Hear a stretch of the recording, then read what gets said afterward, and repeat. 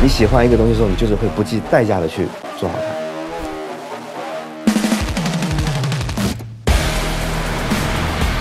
有点像打游戏的时候有一套连招。每个车有各自的性格，在到达极限前不停的挑战自我。你爽了那一秒钟，接下来你就会发现我很难操控它。在玩巅峰极速，包括开真车的时候，我都会进入到一种心流的状态。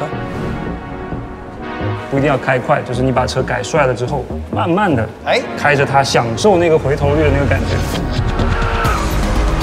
这是一个非常拟真的赛车游戏，它跟现实是直接关联的。当玩家在看到这台车的时候，就想到自己开的那台车。三局两，谁输谁买单嘛？